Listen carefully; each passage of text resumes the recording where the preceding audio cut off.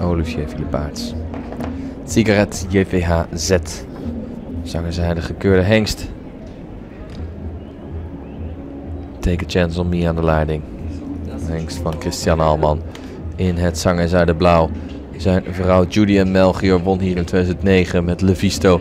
En nu Alman aan de leiding. Maar Olivier Philippaerts die doet alles, zet alles op alles om daar veranderingen aan te brengen.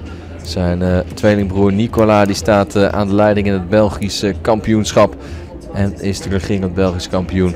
Wordt Olivier Philippaerts de winnaar van de Sires of the World. 38-45. Het zal erom spannen. Hij komt heel dichtbij. Hij redt het net niet. Tweede plek 39-87.